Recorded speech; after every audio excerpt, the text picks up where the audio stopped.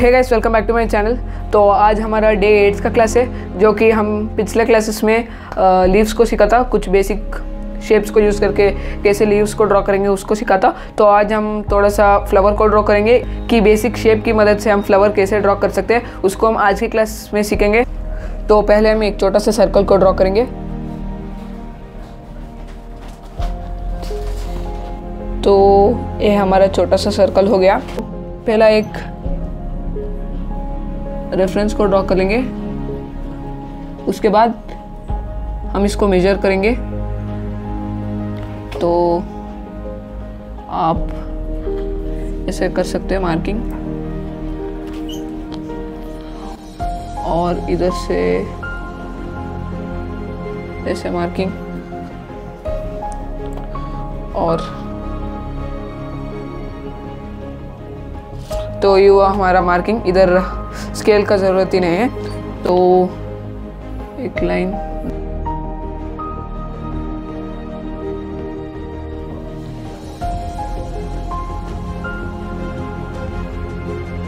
तो ये हुआ। और जो इसका मिडल पार्ट रहता है, उस सभी को मार्क कर लो। और ये थोड़ा सा स्ट्रेट होना चाहिए, कि मैं पहले रेफरेंस के लिए क्रॉस ड्रॉ किया था।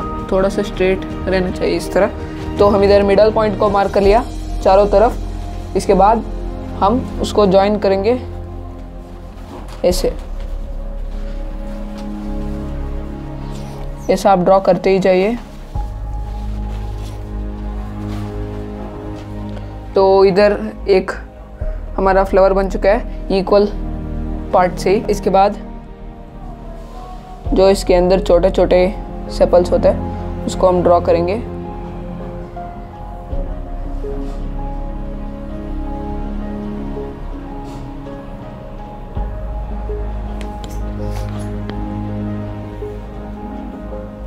तो ये हुआ फ्लावर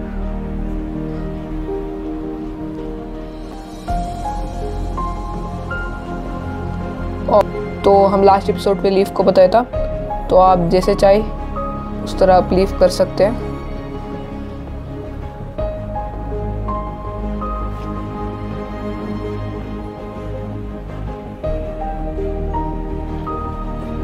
और इसका जो मैं आपको डेप्थ बनाया था, पीछे वाली लीफ को एक पार्ट कि हम शेडिंग भी सीखा था पिछले क्लासेस में लीफ का। तो डार्क से लाइट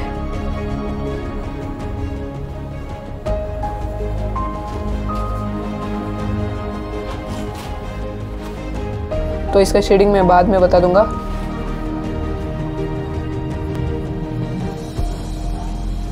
तो इसके बाद हम सनफ्लावर को ड्रॉ करेंगे कि पहले इस तरह हम एक सर्कल को ड्रॉ करेंगे।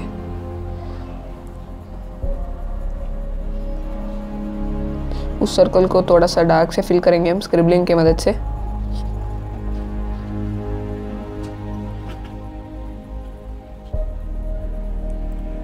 सा शार्प एज देंगे।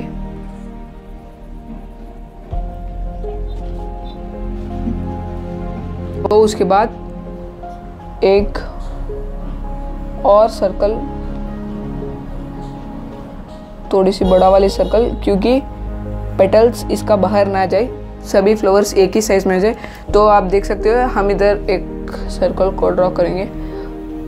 तो आप देख सकते हो, थोड़ा सा इधर ये मोटी हो गया। तो इस तरह नहीं होने के लिए हम एक सर्कल को ड्रॉ करेंगे इधर। उसके बाद आप जितने भी पेटल्स ड्रॉ करना चाहते हो तो एक, दो, तीन, चार में पहले लिया। उसके बाद सभी मिडल पॉइंट को मैं मार्क करते जा रहा हूँ। तो ये सनफ्लावर है।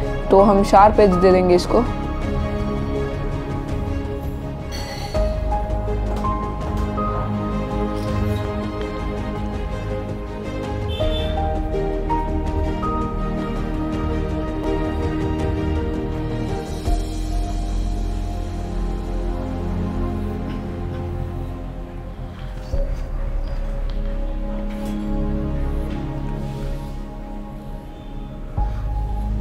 तो ये हुआ हमारा मिडल पॉइंट पे भी थोड़ा सा कर लेंगे।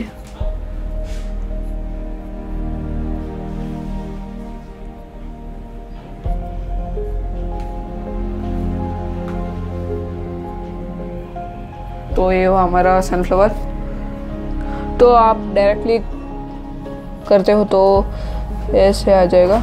तो एक बड़ा एक छोटा आ जाएगा।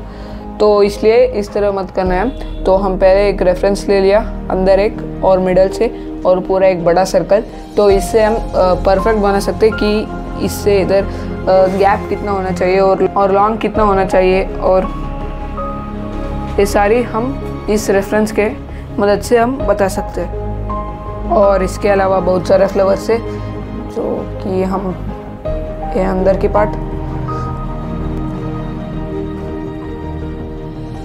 ये हुआ। पहला एक सर्कल जितने बड़ा आप करते चाहे, जितने बड़ा आप कर, आप जितने बड़ा फ्लावर करना चाहिए, उतना बड़ा सर्कल आप ड्रॉ कर सकते हो। तो इधर मैं पाँच सेपल्स करूँगा। पाँच नहीं, चार करूँगा, चार।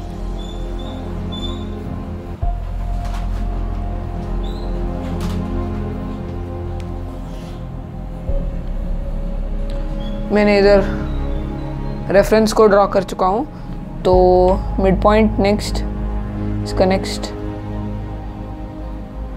तो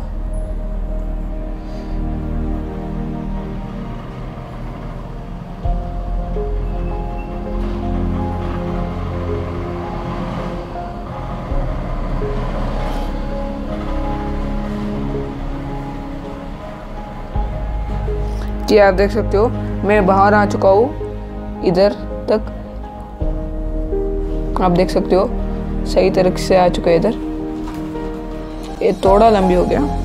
और आप ये भी दिख सकते हो, इधर हम और एक भी कर सकते हैं। मिड पॉइंट पे शार्प होना चाहिए।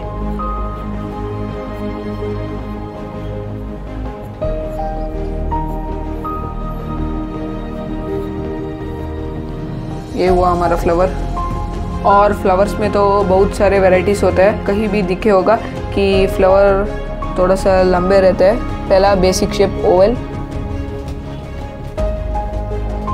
ये हुआ हमारा ओवल उसके बाद एक हाफ़ सर्कल हाफ़ ओवल को ड्रॉ करेंगे। ये हुआ। इसके बाद इधर से, इधर तक हम ज्वाइन करेंगे। करेंगे। ये हुआ। ये पीछे का पार्ट है।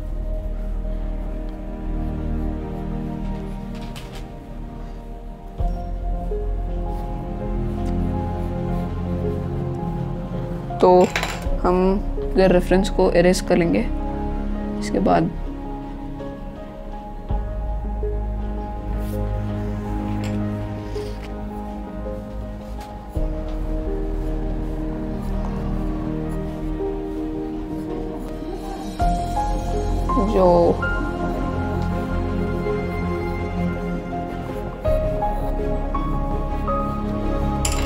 ये हुआ एक अनदर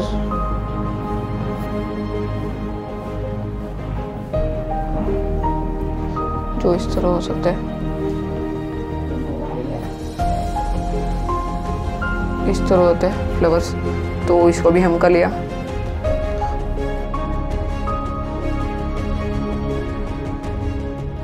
फ्लावर को टॉप व्यू से बताना चाहते हूँ। टॉप व्यू पे ड्रॉ करना चाहिए तो मैं एक सर्कल ड्रॉ कर दूँगा। उसके बाद मैं एक मिडल पॉइंट सर्कल तो मैं जैसे इधर हम लोग करें तो पहला पार्ट्स उसके बाद मिडल पॉइंट तो हम कर सकते इधर, इसको यूज़ करके। अगर टॉप व्यू से बनाना हो ये तो। तो ये टॉप व्यू से नहीं, थोड़ा सा ऐसे दिखाना चाहिए तो मैं ऐसे बना दूँगा। ऐसे मिडल पॉइंट ओवल बना दूँगा। और अंदर भी एक ओवल तो हम इधर ऐसे दिख सकते हैं कि ऐसे होगा।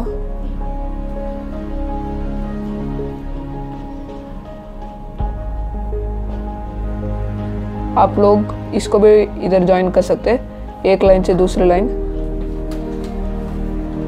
इधर थोड़ा सा लेंथ आ जाएगा। क्योंकि ये क्रॉस से होता है, इसलिए।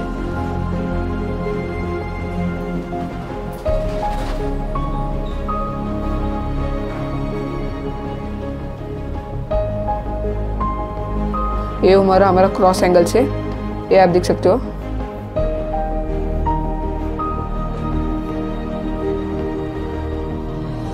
तो अगर आप पूरा साइड व्यू से दिखना चाहिए तो आप सिर्फ़ हाफ़ ओवल ड्रॉ करना चाहिए कि इधर से हम स्टार्ट करेंगे।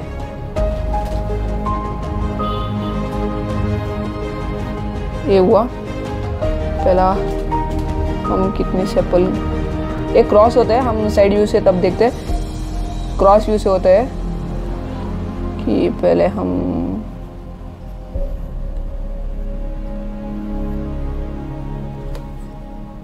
थोड़ा रेफरेंस के लिए सर्कल से बाहर जाएँगे।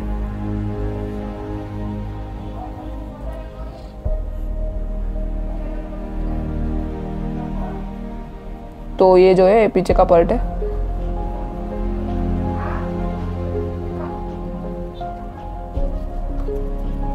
तो ये हुआ हमारा साइड व्यू से, पूरा साइड व्यू से, ये थोड़ा सा क्रॉस व्यू से, ये तो टॉप व्यू से।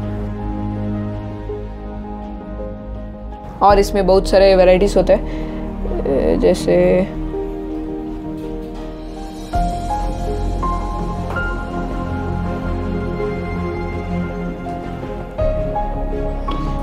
और ये सेंटर पॉइंट है इस फ्लावर का।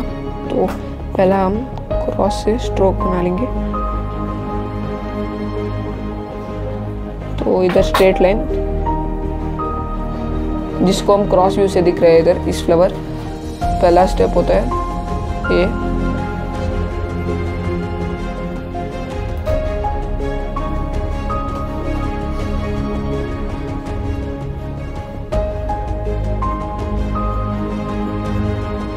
ये थोड़ा सा इधर छोटा कर चुका हूँ, आप ऐसे कर सकते हैं।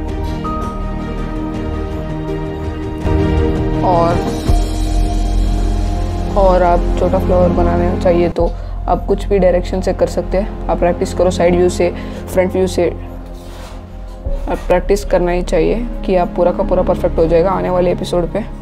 आप एक बार लाइन करके करो, दो बार लाइन करके करो, उसके बाद आप लाइन मत यूज़ करो। आप डायरेक्टली ऐसे ड्रॉ करते जाओ कि आपका जो लेंथ का सेंस है इम्प्रूव हो जाएगा।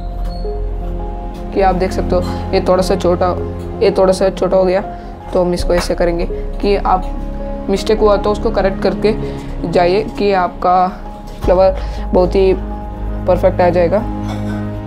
और मैं इधर जितने भी फ्लावर्स है, वो सभी बेसिक शेप से ही बनाता फ्लावर्स और बहुत ही इजी था कि हम थोड़ा कॉम्प्लिकेटेड फ्लावर्स को नहीं लिए बहुत ही इजी इजी बेसिक चीज़ें के मदद से यूज़ करके हम इधर बहुत ही इजी फ्लावर्स बनाए। और आप इसको शेडिंग भी कर सकते हैं।